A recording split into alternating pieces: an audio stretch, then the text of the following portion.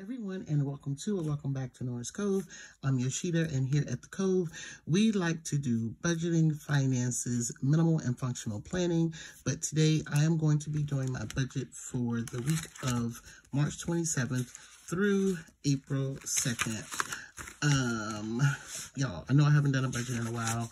I was almost contemplating stop doing my budgeting because um, income is growing my hair business and I don't want people, because personal people watch my account, and I just didn't want people to think I'm rich because I'm not, because if you can see, I can barely pay this stuff.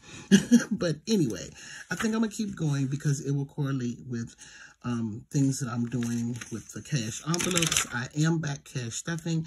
I will try to remember to put a link up in the top so you can check out my latest cash stuffing video. These inserts you can find down in the description box and they are on my shop site. And let's check out last week, y'all. Like, I haven't been on in a couple weeks. So, uh, the week of the 13th through the 19th, I made 1,700. That was, I think, going to be a slow week, so I just guesstimated about 800. Um, I do have some new customers, which I'm excited about. Um, I have old ones coming back, and I'm just blessed. So, um, the income is increasing. In hair, I just guesstimated 1200 on my busy week because that's what's been going on. And y'all, I ended up making $1,755. I was rocking last week, okay? That's why I be so tired that I just... I just be crashing on the weekend. So I just want to do that. Things got paid. So let's do the week of March 27th through April 2nd. Okay, so the source is here.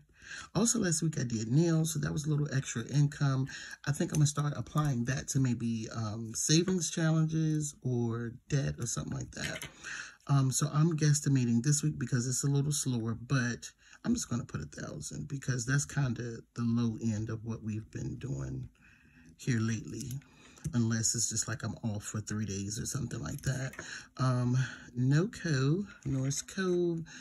Um, I'm gonna put a hundred. I don't know, and I'm I'm doing ads now. I'm just trying to increase the income over there. We don't have any new box subscribers. Um, people are just purchasing from like my affiliates and things like that. Let's do the bills due for this week. I'm going to flip to my calendar real quick over here to the left. We have car insurance due the 28th. I paid GoDaddy last week. That came out this week, so I'll put that on the 27th. And GoDaddy did come out. I'm paying more towards my debt. I gave them 50 and then car insurance is like 503 and some change. Um, I'll see and put the actual when they actually take the money out. It is supposed to come out today, so it'll normally come out after like 12. Um, on the 29th, we have an afterpay. And that is $56.33. And then another afterpay. I know y'all like Yoshida. What is going on with these afterpays? well, some things I have to afterpay for the business. So, uh, so let's, oh, booth rent. We got booth rent. That's due on the first. I don't know why I forget about that. I think it's because it's just automatically, I'm going to pay it. And that's $250. Let's do some totaling. Oh, I didn't put miscellaneous, but so far, I'm not going to put anything down for miscellaneous because so far, I don't have anything extra going on here. Um, let's do some totaling.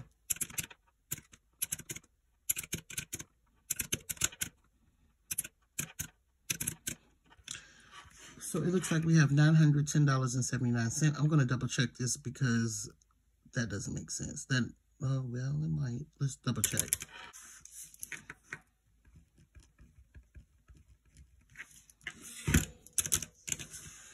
Okay, I wasn't going to put anything in the miscellaneous, but I am because this is income from last week.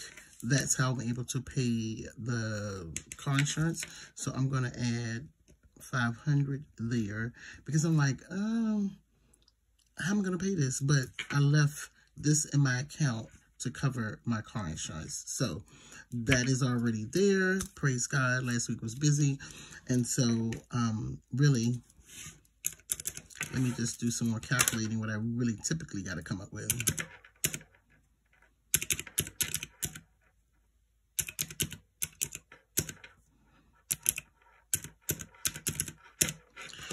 $407. I'm going to put, use this highlighter here and just put in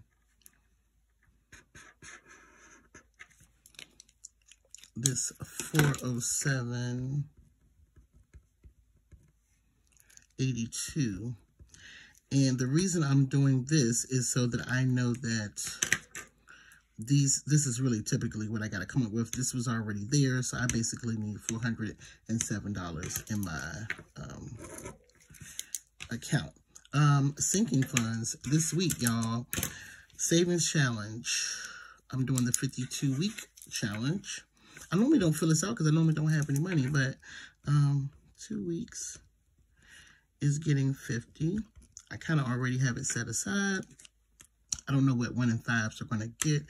I do high yield savings. I start out with $30. If I can do more, I do more. Also, you guys, I forgot to add in hubby over here. And I give him $50 a week. So he's actually the sinking fund. But uh, let me just move him over here. So I don't have to worry about messing up that total. And I'll wipe that out later. Let's see what I wipe them out over here.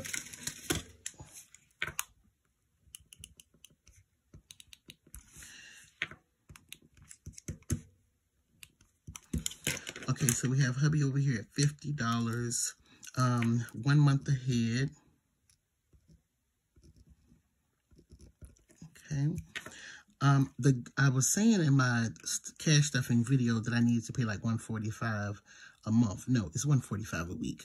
So we're going to try to give them uh, $50 this week, hopefully. So what else do I have in my fund? Oh, eating out. And I like to give eating out about uh, $50. So let's total total all this up because uh, we're a little up there. 50 plus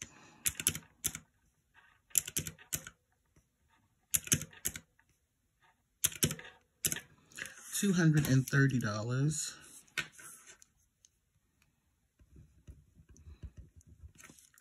I don't know about this. Um, I know I want to give my high yield savings 30. I'm just sticking to that. I'm committing to that. I've already given, set aside the money for the 52 week challenge. Hubby definitely needs to get his 50.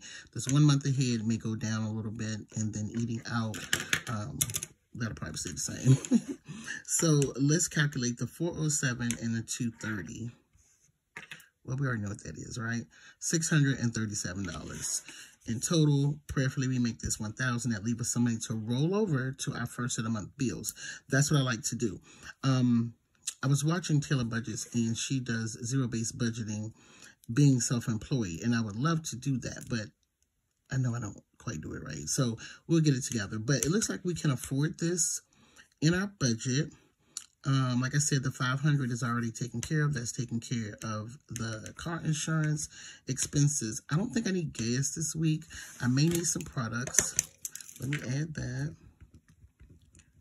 And this is for the salon. And I usually say products for the salon, supplies for um, Noras Cove.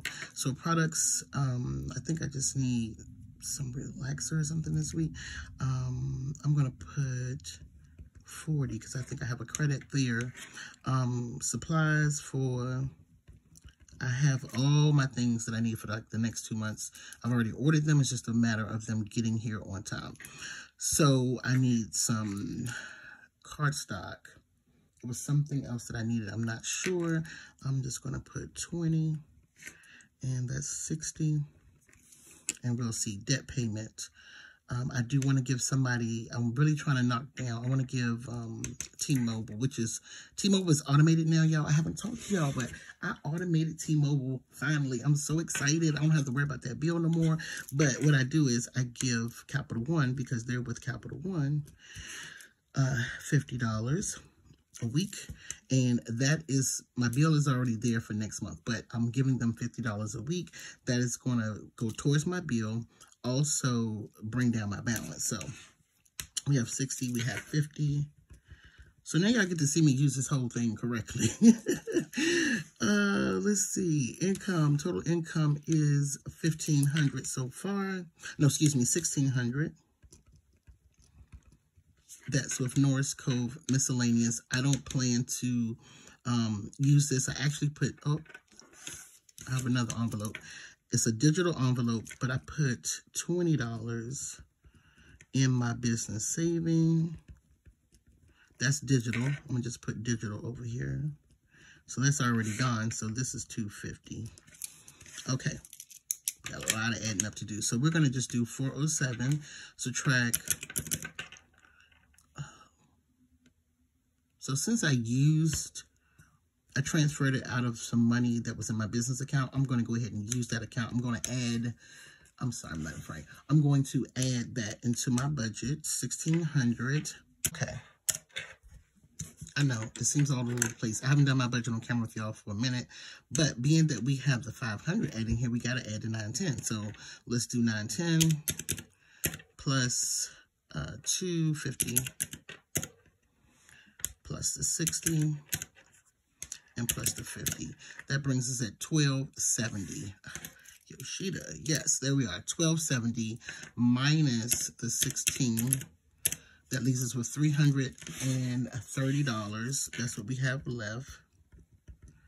And I'm going to find a way to zero base that. Um, so we should be able to have $50 in eating out.